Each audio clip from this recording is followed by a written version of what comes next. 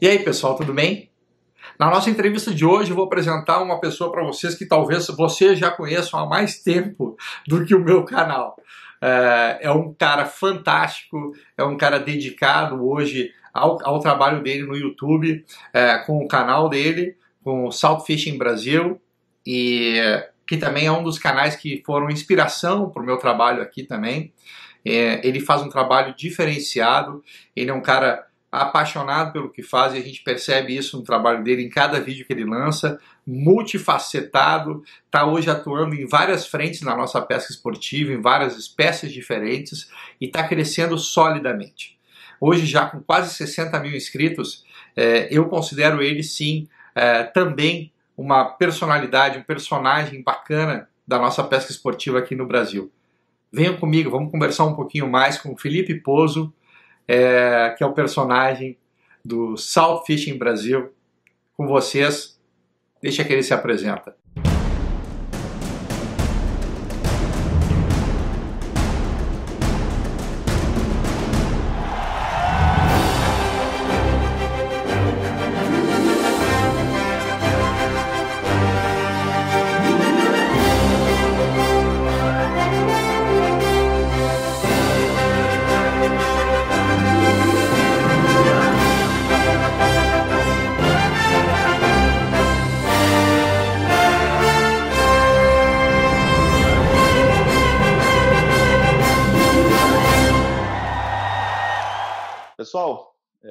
Sou Felipe Pozo, do canal Solto Fishing Brasil. É, resido hoje em Itapema, Santa Catarina. Sou nascido em Concórdia, no oeste do estado.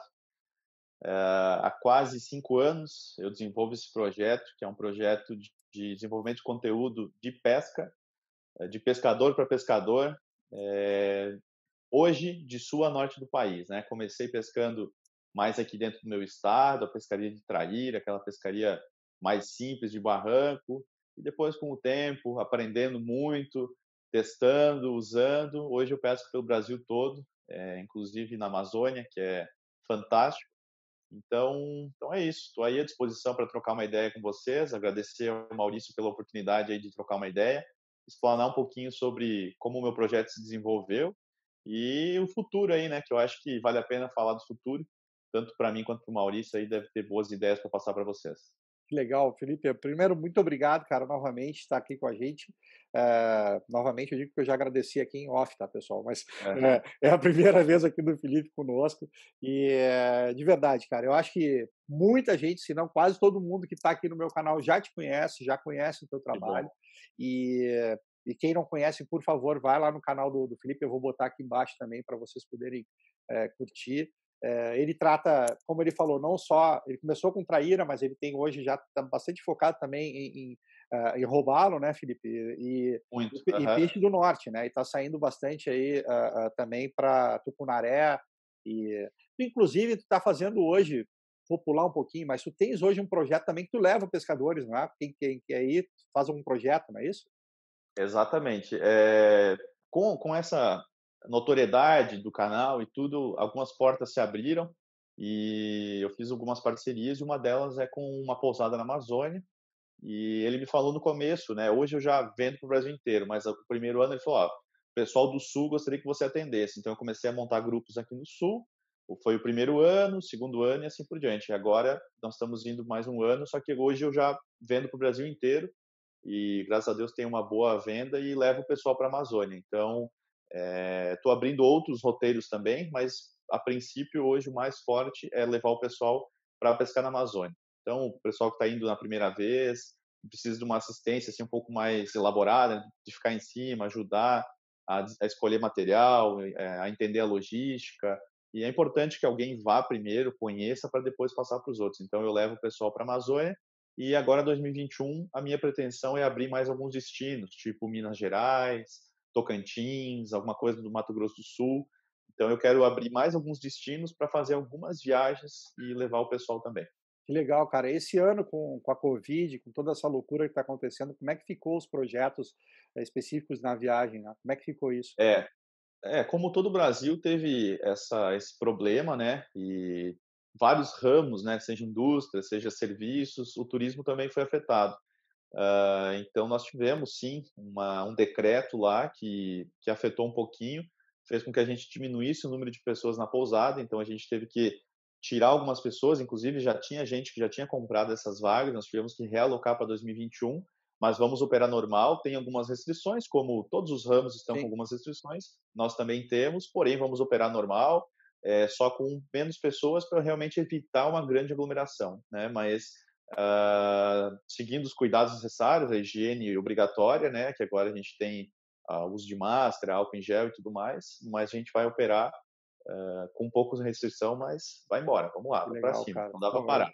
Esse, é, parabéns, cara. Esse projeto é legal, é uma, é uma é uma coisa que, claro, como tu bem falou, não é um projeto do meu canal no momento. Eu quero até participar. Eu talvez eu vire teu cliente claro. né, em breve, porque essa pescaria de tucunaré eu ainda não fiz, cara. E, todo, e é... todo pescador, é, todo pescador esportivo, ele, por obrigação, ele tem que ir para a Amazônia.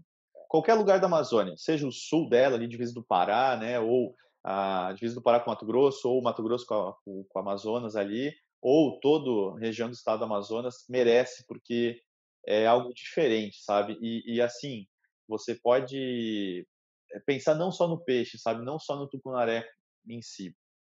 O, o visual, as é. pessoas, a cultura, a comida, a viagem, cara, tudo é diferente, principalmente para quem é aqui do sul. É. Então, se você é pescador esportivo e não cogitou ir para a Amazônia, pense nisso, porque é realmente é, um, é, é, é, coisa de outro mundo mesmo. É muito, é, muito, muito legal. Eu, tenho, eu, eu sei que não conta com a Amazônia, mas eu, eu com 15 anos, eu acho que eu fui Pantanal. Foi a minha única experiência, assim, de, de viagem. Na Amazônia, mas é muito legal também. É, que é bem legal. E eu, na época, não sabia o que era peça esportiva, cara. Mas fui lá, meu pai, fui pai, meu pai é um amigo, e eu fui junto. E foi muito. O visual foi o que mais me marcou, sabe? Mais do que os peixes em si mas uh, até porque o peixe foi mais peixe de couro, foi pintado e, e cachara, uhum. uh, mas uh, eu me lembro muito do visual, cara, aquele barco saindo às 5 da manhã, o sol saindo do, da, de trás das árvores, eu é. imagino a Amazônia, cara, é, é, é, uma coisa que eu tenho que fazer sim, esse ano já não consigo, porque não tem mais espaço em lugar nenhum, até onde eu sim. sei, enfim, cara, é um projeto. E aqui, eh, da, da, das coisas simples para te dizer, até talvez a tua opinião vai contar, eu tô com uma ideia local, de fazer cursos, uh, de, de, iniciar, para iniciar mais gente na pesca, para trazer mais gente. Uh, pô, não é fácil o BES, mas vai ser uhum. exatamente uhum. no que eu mais pesco aqui, que é o BES, que é um claro. peixe extremamente manhoso e técnico, né? Mas uh, tá dando muita tá tendo muita curiosidade do pessoal. Então, talvez eu faça isso nesse período agora, nos próximos meses. Eu vou com alguns parceiros, lojas parceiras aqui, fazer alguma coisa em pequenos grupos e levar as pessoas para pescar, um pouco proporcional ao que tu fazes hoje no norte, né? De poder levar. Né? Eu acho, acho extremamente válido e o que eu acho que falta muito aqui no sul são realmente operações, seja de pé, seja de traíra, seja de roubalo. O mercado de pesca no sul do Brasil ele está muito atrás do, das outras regiões. Verdade. Então, eu acho que falta muito aqui investimento de empresários, hotéis, pousadas, voltado para a pesca esportiva. Aqui no Sul é ainda ela é, é, muito fraco comparado às outras regiões. Então, eu acho que quando o pessoal entender aqui que dá para ganhar dinheiro com isso, vai melhorar bastante nesse sentido também. É, é uma coisa engraçada, né, Felipe, que a pesca, eh, num geral, talvez de forma é, genérica, ela é vista como uma coisa meio de, de de quem tem tempo, de quem, é, de, sabe, de, eu não vou dizer vagabundo, porque não é essa palavra, mas as pessoas não percebem o potencial econômico que tem atrás da pesca ah. esportiva, né?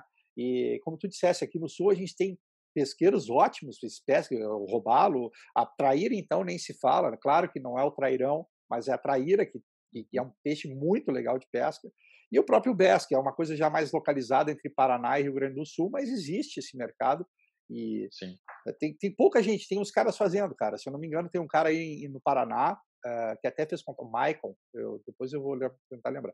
O Maicon fez um contato comigo, ele tem uma posada e querendo incentivar isso, sabe? Querendo que eu fosse para uhum. lá fazer vídeo. Uh, é em Campo Mourão, uma represa que tem lá que diz que é forte ali, cara.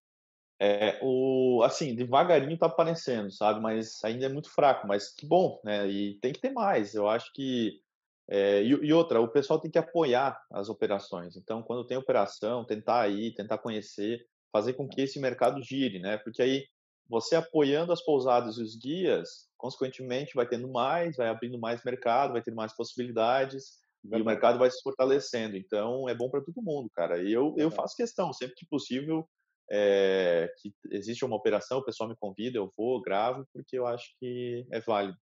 As cara, associações também, né, são é. fortes é. nesse sentido. É, eu tô, eu tô fazendo um trabalho uh, aí de, de, de, de, eh, de, formiga, talvez, como dizer, eu estou me aproximando de algumas entidades que estão uh, todas com esse foco, sabe, de valorar o nosso esporte, a peça esportiva, a Confederação Brasileira, uh, através da confederação mesmo, da direção e do, e do pessoal das federações também. Eu estou terminando conhecendo esse, esse meu negócio. O YouTube está me trazendo contatos. Claro. Rio de Janeiro, tem abre, bons amigos lá. Abre muitas portas. Vai abrindo, né, Felipe? Até estou falando Vai. hoje contigo através de um contato. Quer dizer, é, as, as pessoas que têm, eu acho, o mesmo intuito aqui, que é promover a nossa pesca esportiva, e, e, talvez fazer disso um negócio, mas uh, não tem nada errado nisso.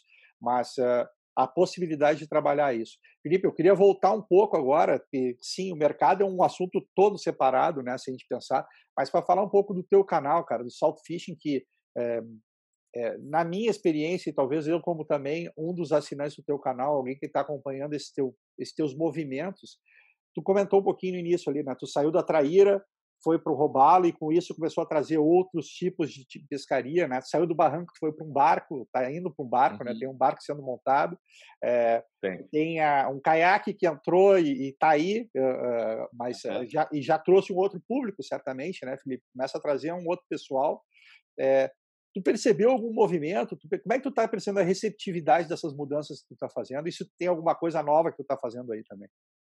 É, isso é uma coisa que vamos tentar criar uma linha do tempo para o pessoal entender, para quem acompanha o canal vai entender isso mais fácil também. Uh, começou lá 2016, mais ou menos, 2016, comecei a fazer algumas pescarias. Eu já acompanhava alguns programas de pesca dos Estados Unidos, né, que temos em comum, que você também assiste, que é o John B, John B. que se chamava Fishing the Midwest, né, era o nome do canal dele, pela região que ele pescava. E eu comecei a gravar, é, desenvolvi um nome que foi baseado justamente por causa do dele. Eu pensei alguma coisa voltada para a região e tal, e acabou surgindo, fiz um brainstorm lá, joguei algumas palavras e acabei criando o Salt Fishing Brasil. Uhum. Acho que a pronúncia correta é Salt Fishing Brasil. Salt Fishing, tudo bem, não tem Salt problema. Aqui para né? nós é salt, mas, não tem problema. Exatamente. E acabou, isso é uma coisa que eu no começo eu ficava muito procurando é, a, a, pronúncia certa, mas ficou Salt Fishing Brasil. Uh, não é errado, mas não é a não, tá pronúncia tá tudo mais bem. Tá tudo bem. É. E baseado nisso, que era o canal do John B. Até hoje a gente segue, estava conversando com nos bastidores com o Maurício sobre isso, mas beleza, comecei a criar o canal. Só que eu acho que o, o pulo ali do começo foi o seguinte: eu na minha vida com as minhas coisas, seja na engenharia, seja quando eu comecei a dar aula, é, tudo que eu faço na minha vida, eu nunca entro para entrar meia sola, nunca entro para só fazer e deixa acontecer. Eu sempre tenho muito objetivo, um programa bem projetado do que eu quero. É, eu não imaginava a proporção que ia tomar, mas eu já estava mais ou menos preparado para seguir se acontecesse. Então eu lembro que eu fiz o primeiro vídeo, a galera gostou, fiz o segundo vídeo e eu falei, ó, se der repercussão, eu vou continuar. E a coisa foi repercutindo, foi repercutindo e foi subindo e avançando.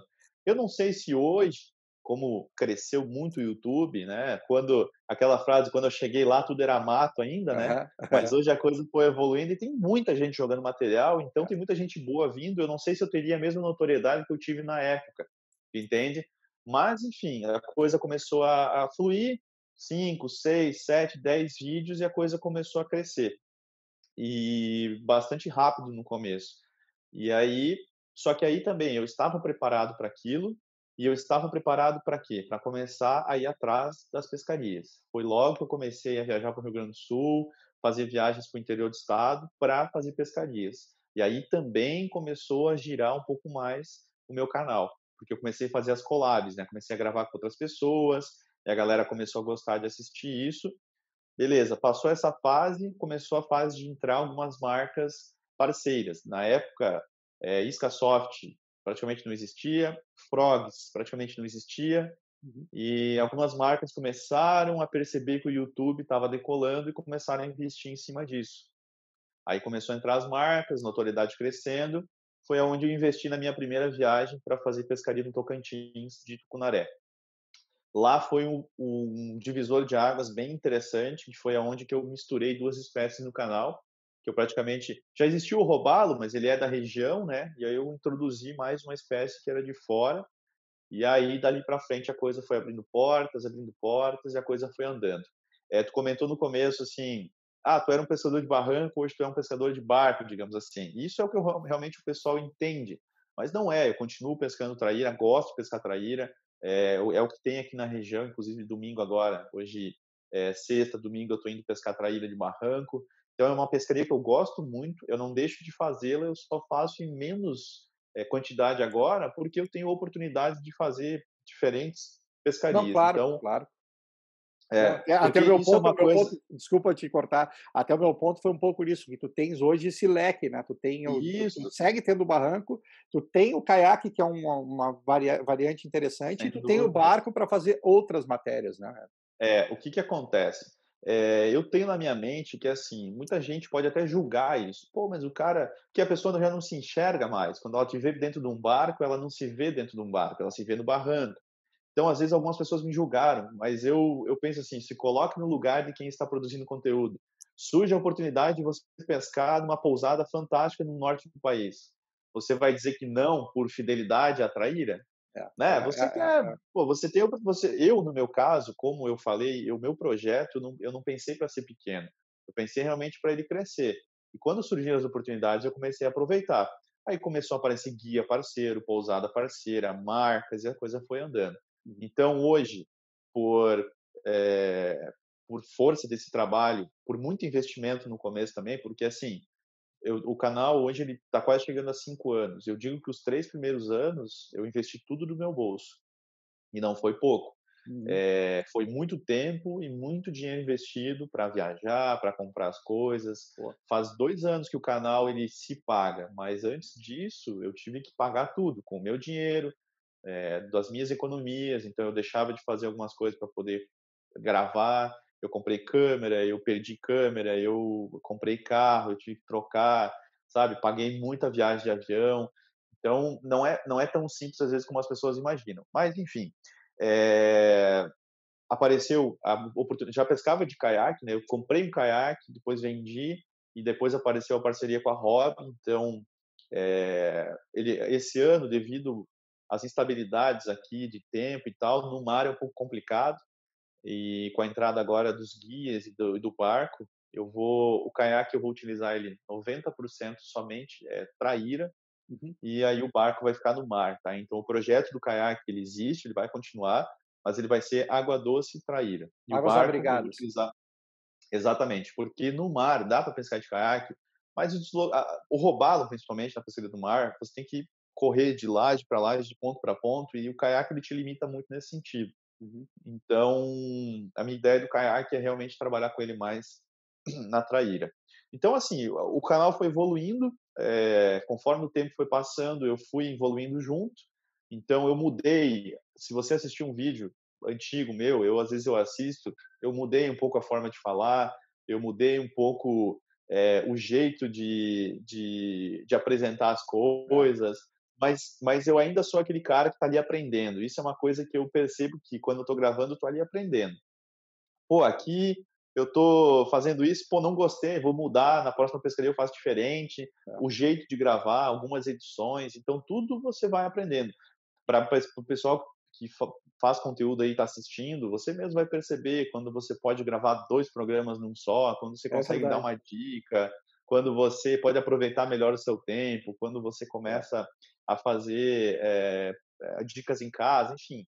Mas aí foi evoluindo, foi evoluindo. É, eu evoluí como pescador, eu evoluí como comunicador, né? E eu evoluí é, nas edições, eu evoluí em todo, todos os sentidos. Então, algumas coisas eu até posso ter perdido no meio do caminho, assim, de da fora, pureza, né? talvez, de... aquela coisa de quem vê, né?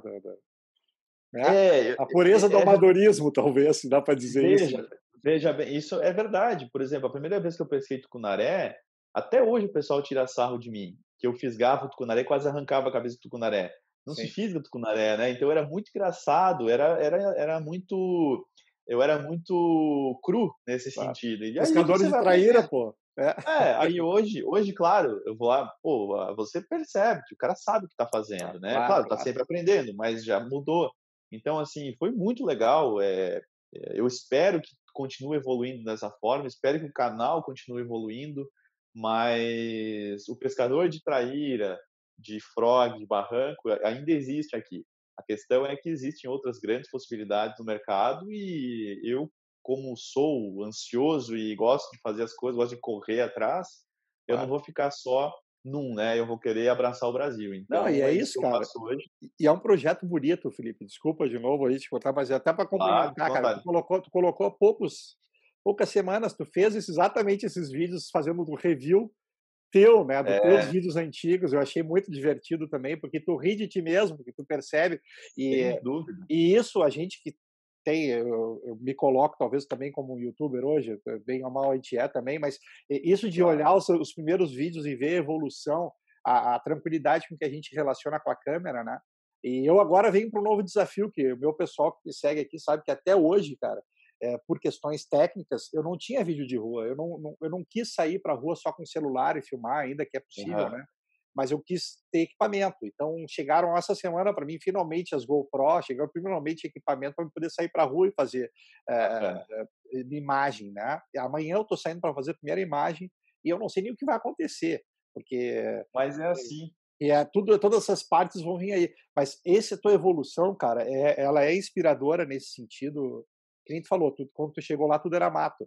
É, eu tô chegando num é. campo de futebol, né, cara? E, aliás, por chegar no campo de futebol, a concorrência é bem maior e a também exigência também desses públicos é, também é razoável. Né? O cara que, que acompanha o Salt Fishing Brasil, ele já espera um tipo de, de, de programa, ele espera uma comunicação, uma forma de comunicar e, e, e enfim. É, isso, é, isso para quem produz conteúdo, eu vou, eu vou, eu tive algumas, algumas sacadas durante o processo, alguns degraus que mudaram drasticamente a, a forma de produzir conteúdo. Eu vou contar para você o primeiro, que foi. É... No começo, eu falava muito palavrão, certo? É. E eu achava isso normal. Por quê?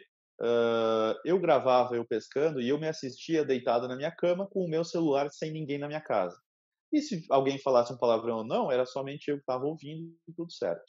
E quando as pessoas me julgavam, pô, tu fala muito palavrão. Assim, não é um palavrão que você fala com raiva ou com para agredir não. alguém. É um é. palavrão é, que é sai pescando. É o nosso bar aqui do Rio Grande do Sul, né? É. Que sai e, aí, e aí, o que que acontece? Eu achava isso, o cara vinha me falar, falava, não, isso é normal, todo pescador fala. Beleza. Passou um tempo, o canal começou a tomar notoriedade. Um dia, foi a primeira vez que eu recebi uma foto de uma pessoa me assistindo na TV da casa dele, com avô, pai, filho, esposa sentado na sala, e aí que veio a sacada do negócio. Era nove horas da noite. Nove horas da noite é o horário mais caro do Brasil. É o horário do Jornal Nacional e da novela. É o horário que todo mundo senta na frente da TV para assistir a Globo. Eu estava na casa dessa pessoa, nove horas da noite, sendo assistido pela família dele. E aí eu tive a grande sacada que foi o seguinte: eu preciso melhorar a forma que eu me comunico com as pessoas. Então, assim, eu não poderia mais tratar de qualquer jeito meu telespectador, não poderia tratar mais de qualquer jeito meu seguidor. Não que eu tratasse, mas eu não me importava Sim. com a forma que era assistido. E, e, eu, e eu entendi que a nova geração ela não está mais vinculada a Faustão, Xuxa, Gugu, Silvio, grandes medalhões. Cada ramo existem os seus medalhões. E dentro do meu ramo, hoje eu não posso ser hipócrita em dizer, mas eu tenho um certo público e as pessoas é, me, é, se veem às vezes no meu lugar ou almejam estar no meu lugar, então as pessoas me veem hoje como uma certa referência dentro desse meio, algumas, né? Quem me assiste. Não, então, é isso aí. É, é, então eu percebi ali que foi a primeira sacada que eu precisava mudar a forma de produzir meu conteúdo. Tá? Então ali foi realmente uma diferença. Hoje eu sinto um pouco de vergonha quando eu vejo um vídeo antigo lá falando palavrão, mas é uma vergonha do tipo, pô, que bom que eu mudei, mas é. É, quem vai assistir aquilo lá É, tá no é, ar, né? Exatamente. É, tá no tá ar. no ar, exatamente. Às vezes quem assiste aquele lá não assiste um novo, mas enfim, é. tá lá. Eu acho que é. faz parte do processo evolutivo de todo mundo. Mas uh, foi uma sacada bem interessante e mudou muito, tá?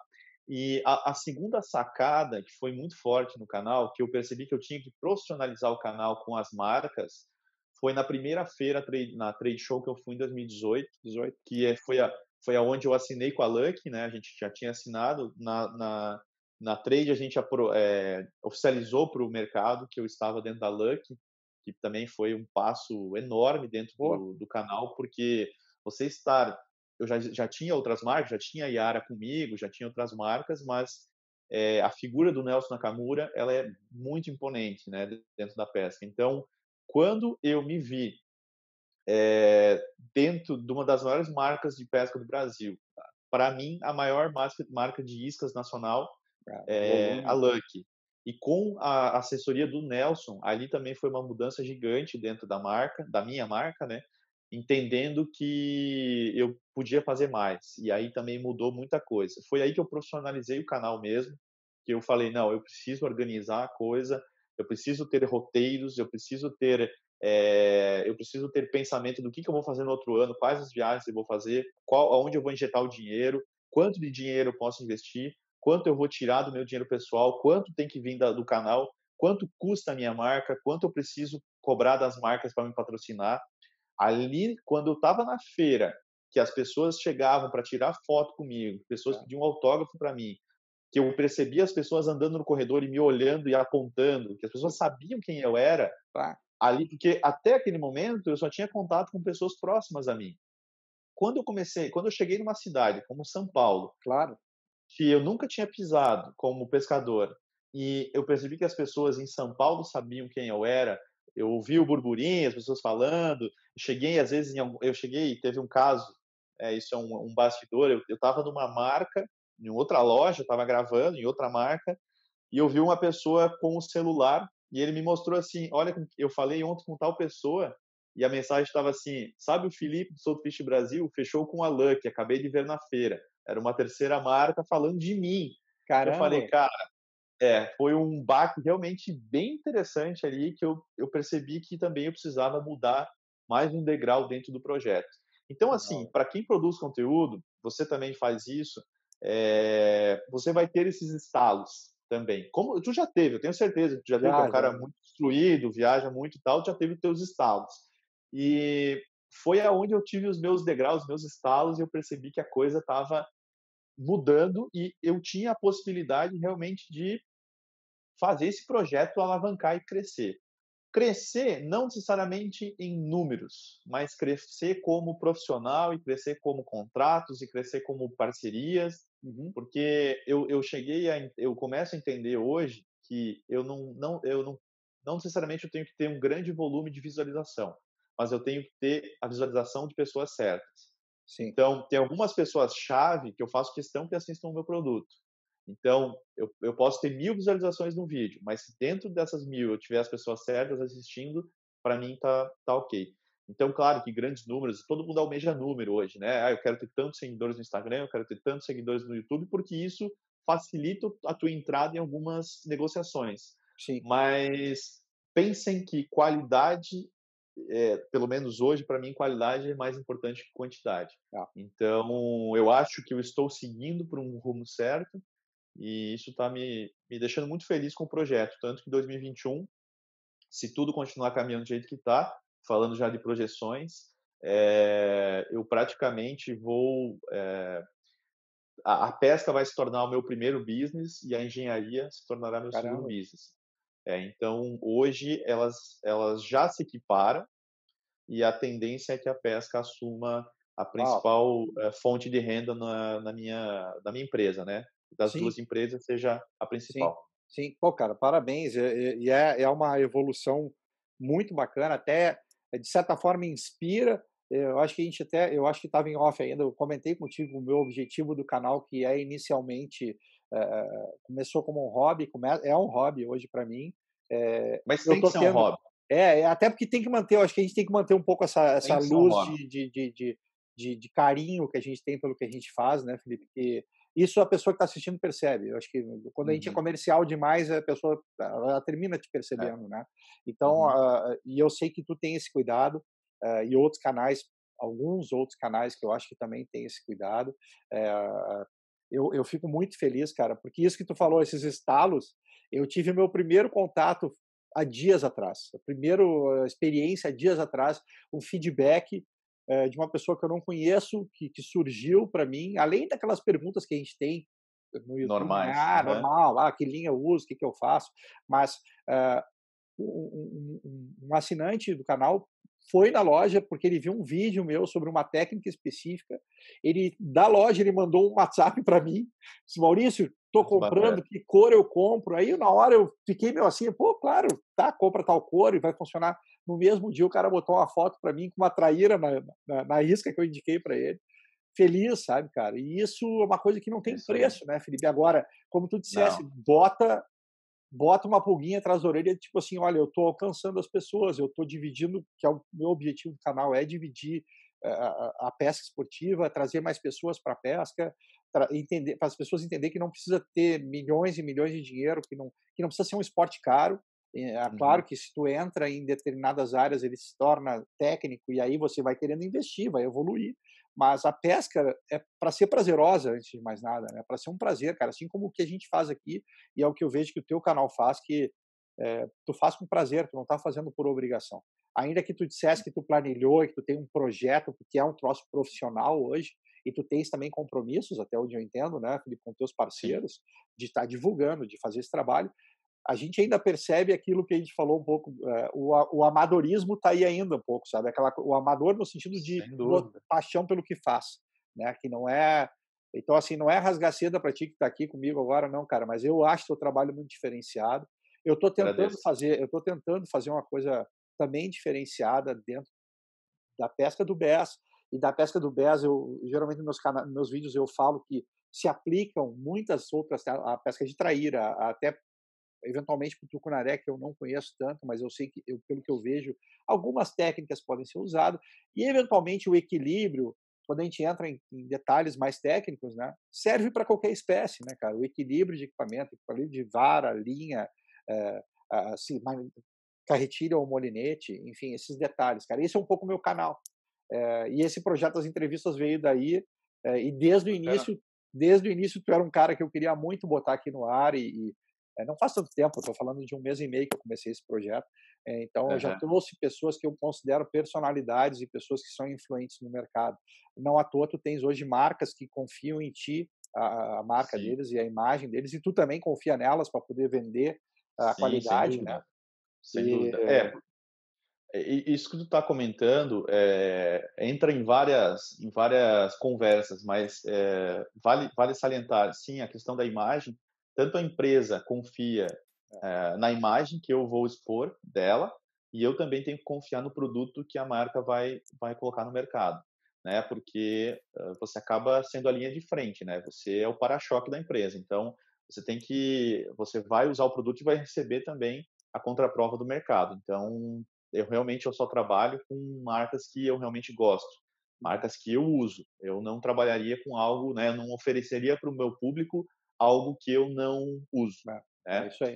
Uh, e também o pessoal tem que entender que tem duas formas hoje de você trabalhar com a produção de conteúdo no YouTube ou Instagram. Uma delas é você não se vincular a marca nenhuma e viver da renda do YouTube, que normalmente quando você não se vincula a marca nenhuma, você tem um, um ganho de visualização maior, porque as pessoas eh, se interessam mais pelos testes e tudo mais, pela amostra de conteúdos diversos. É, ou você se vincula às marcas, trabalha com as marcas e recebe o patrocínio das marcas, recebe um salário, recebe uma remuneração de uma marca em específico. Então tem essas duas formas. Eu optei por trabalhar com marcas, então as pessoas têm que entender que durante a pescaria você vai dar uma dica, vai falar do produto, né? não existe almoço grátis, né? Ninguém claro. dá nada. Então as, claro. as marcas elas querem divulgação, elas querem a imagem delas sendo bem expostas e elas querem o produto vendendo. Né? Ninguém, ninguém faz parceria por bonito. Né? Então, o que acontece? É, você vai dar uma dica, vai falar de um produto, vai mostrar. Eu tento fazer isso da forma mais é, infiltrada na pescaria possível, que se dilua dentro da pescaria, que não seja uma coisa chata. Mas eu gosto de, de apresentar, mostrar o que eu estou usando, e o pessoal tem que entender que existe esse mercado e a gente precisa realmente passar para o telespectador o que a gente está usando por questão de, de, de marketing da, da, empresa mesmo. Claro. É. E isso é o que paga o rolê. Então, assim, é, eu só consigo viajar, eu só consigo fazer as coisas, só consigo adquirir um barco, pagar os claro. custos do barco, se eu tiver uh, investimento das marcas em cima.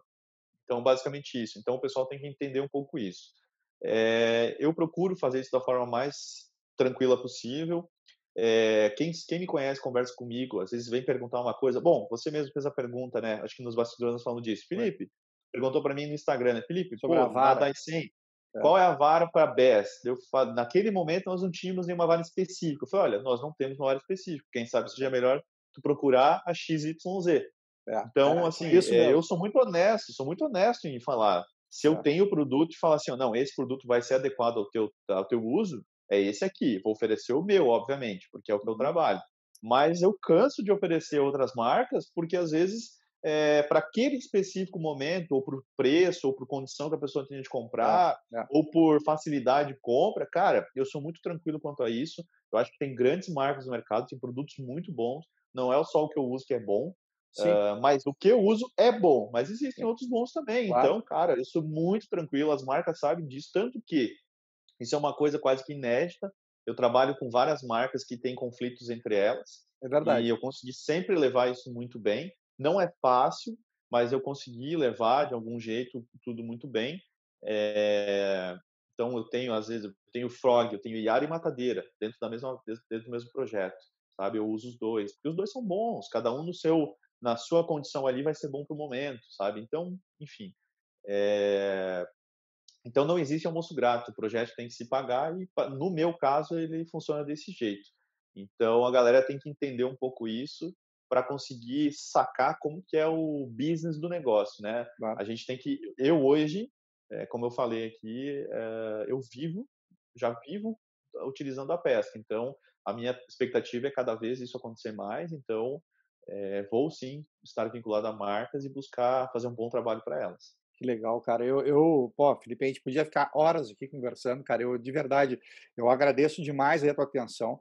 E tem história muito bacana para isso. O pessoal que, de novo, se é, acho difícil, mas se alguém que não conhece aí no canal o Salt Fishing Brasil, passa lá, se dá uma olhada aí. no canal, porque esse cara, esse guri, dá para dizer, esse cara aqui faz um trabalho muito legal, tá? E, e, e eu me inspirei muito no, na, nos vídeos do Felipe aí dos últimos anos uh, eh, para tomar coragem para colocar a cara aqui na frente da tela aí para dividir com vocês alguma coisa. Uh, a gente está sempre aprendendo, como o Felipe falou. Acho que isso é uma mensagem, talvez a principal mensagem que a gente no momento que tu achar que sabe tudo, larga as coisas, tem alguma Não. coisa errada, dá um passo para trás que tem alguma coisa. E é o que eu digo. O dia que tu pegar um peixe bom e a perna não tremer, pode largar o equipamento e ir para casa. Perdeu a graça para ti. Exatamente. Não tem é. E eu, eu, eu cara, é, é, muita coisa legal. Talvez, Felipe, aí na frente a gente se encontre. Uh, eu digo, ter claro. oportunidade de, de, fazer uma pescaria contigo aí também, ou em algum local. Quem sabe. Precisa né? aprender a pescar bés, né? É, quem sabe também tu vem aqui para o sul, a gente vem fazer uma pescaria de bés, tem uns locais muito legais. Traz o teu caiaque aqui, a gente faz uma pescaria de caiaque de bés, que é uma pescaria muito legal, cara. Podemos marcar para esse ano ainda. É, então, pô, tô, tô, o meu, meu caiaque tá. Eu também tenho um hobby, né? Como tu tem também. Uh, e, enfim, cara, é, é muito legal, tem muita coisa bacana para acontecer. De novo, agradeço demais. Mas antes é da gente encerrar nossa pergunta e antes de acabar a bateria do meu, do meu computador, que acabou de apitar, uh, tenho cinco perguntas que eu faço para todo mundo aqui que, que participa com a gente. Bom, primeiro, carretilha ou molinete? Carretilha. Carretilha. Bem, a isca ou técnica que tu gosta mais e que tu usa mais?